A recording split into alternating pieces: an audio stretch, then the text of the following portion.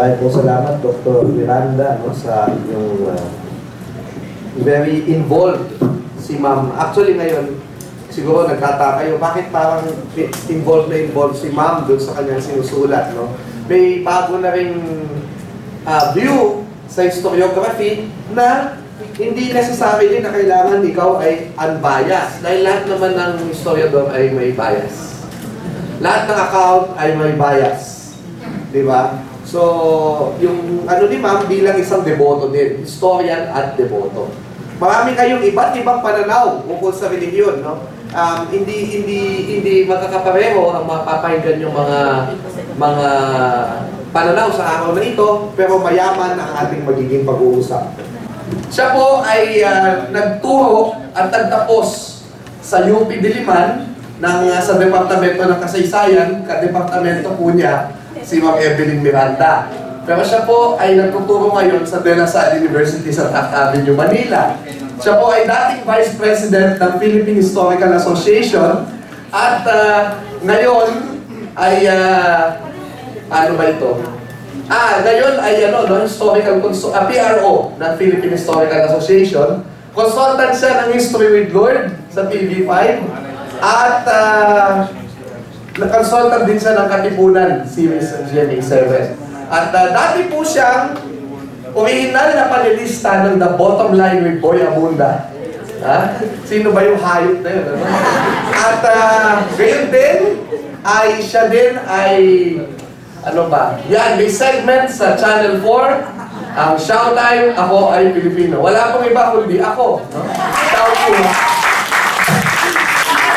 Sorry po, wala tayong budget for MC. Ano? Gubayan pa tayo, di ako na lang ang MC. Di ba? Okay, sige. Uh, Pwera Biro, no? magandang hapon po sa ating lahat. No? Mahalagang Mahalagang araw po sa atin to ngayon kasi ang punto ni Dr. Derry sa kanyang panguluhan ay dapat nga kada buwan. Pero at least no, every now and then, meron po tayong paggunita ng isang historical na pangyayari at magdadaos tayo ng symposium. No? At kanina, nakita nyo yung nagsalita si Dr. Derry tungkol sa mga pangyayari noong 1872. Ngayon naman, tingnan natin yung nangyari noong Revolusyong EDSA. Okay? Lalo na yung mga panahon ng uh, martial law. Ah, uh, sige. So, ito po yung title ng aking papel, The Catholic Church and the Struggle Against the Marcos Dictatorship. Kung kayo po may katanungan, just follow me on Twitter, no? at Xiao underscore Chua. Para po sa mga guro natin, meron po akong website kung saan naglalagay po ako ng mga artikulo at mga langawan na makakatulong sa ating pagtuturo at pag-aaral ng history. Yung mga Caspil 1 ko dyan, ang clue, sa mga Caspil 1 students ko, wala na yata si ah, hindi, nagsiyam lang. Uh, basahin yung blood ko. No? Kasi, ano, nag-blood yung sinasabi ko. anyway, so, shoutchua.net at bangkalishout.wordpress.com Okay. Tulad po ng nabanggit kanina,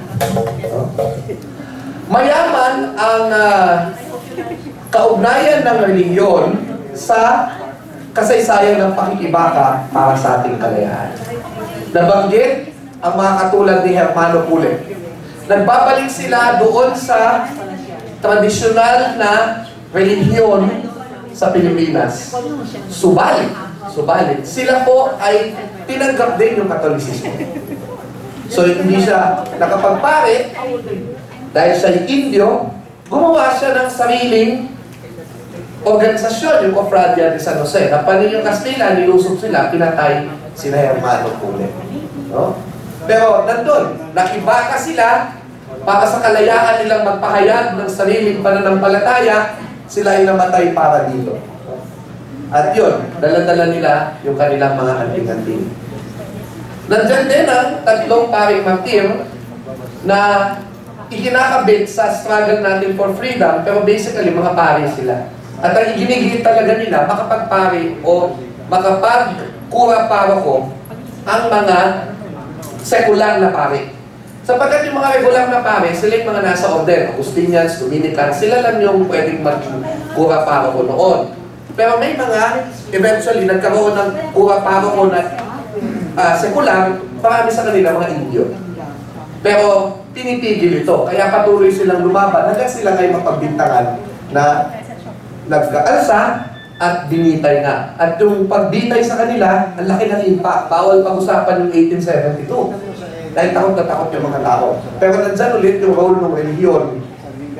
Pagdating ng panahon ng katipunan, no? so ayan, no? um, ganyan din yung pasyon na, ng, na, inaano ng mga tao, binabasa kapag uh, banal na araw o Holy Week, mahal na araw, sabi ni Reynaldo Clemeña Ileto, no?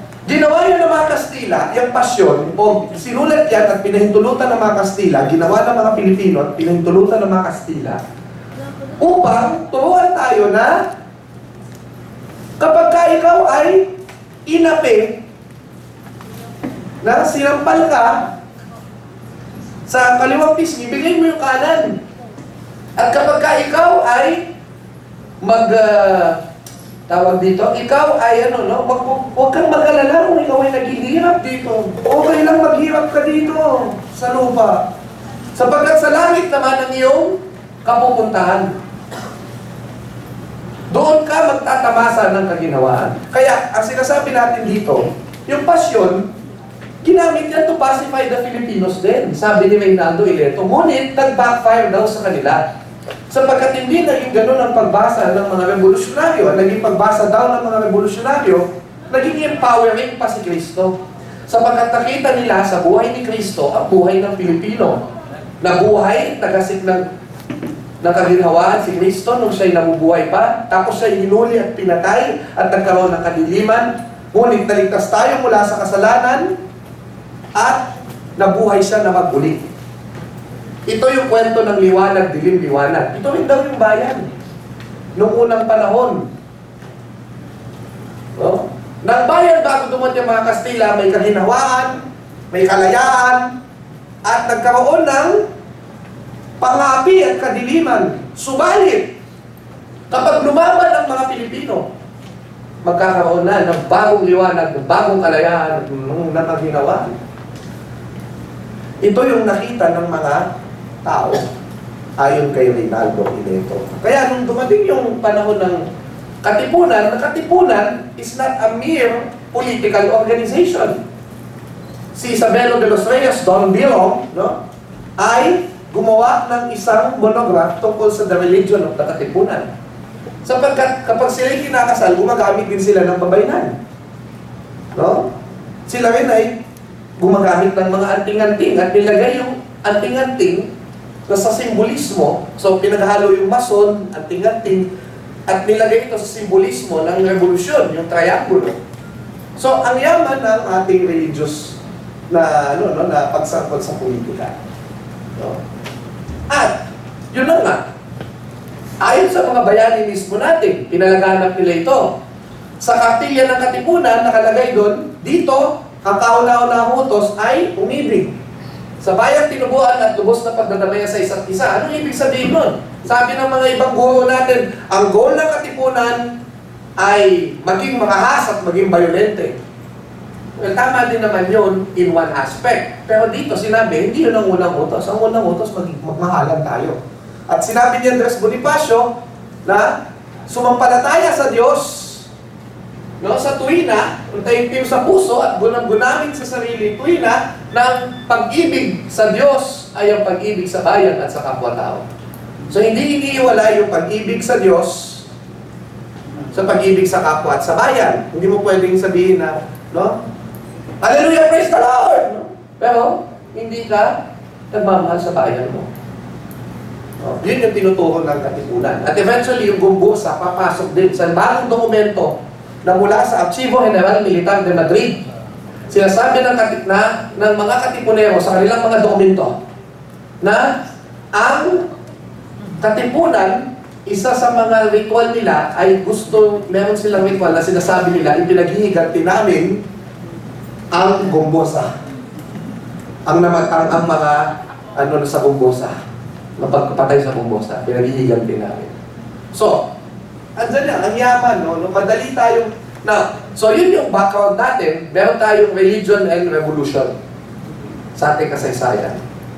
Pero pagbabalik tayo dun sa topic ko, yung against Marcos, no? struggle against Marcos, ang dami po nagsasabi, madali tayong makalimot sa kasaysayan. Isang napakagandang explanation sa akin ng isang kaibigan, hindi mo sa akin to, no? ay dahil tayong mga Pilipino, every year, meron tayo laging sakuna.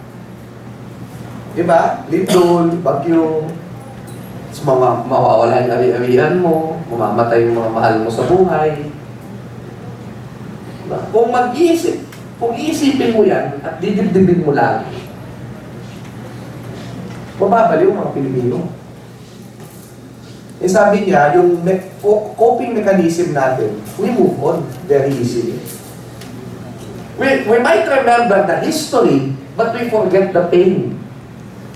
So alam mo kung anong pangalan ng bagyo, alam mong si Marcos ay nag-exist, pero yung pain, yung suffering, parang nakalimutan. Now, hindi pa yan nasusubok yan. No? That's one theory. Pero ngayon, lumalabas yan. Tulad nga nung laging sinasabi ng mami ko na si Imelda Romualdez Marcos.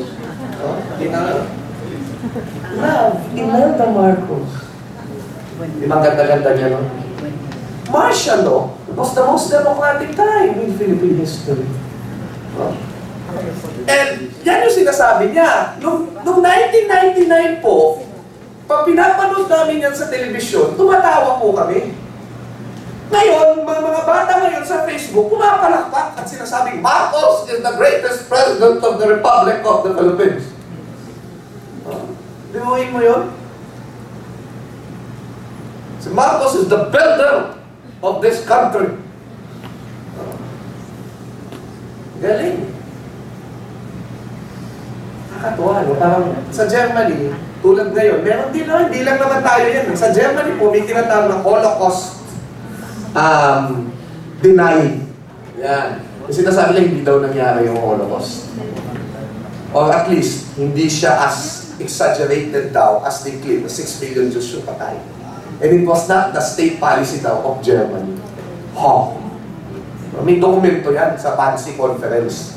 Pero hindi pa rin sila naniniwala. May dokumento na ang daming nangyaring masama nung panahon ni Pangulong Marcos, pero marami pa rin hindi naniniwala. Kasi hindi sila naniniwala kahit marami na ang dokumento. Yun yun. Kaya may historian. Para ipakita niya yung dokumento. Oh?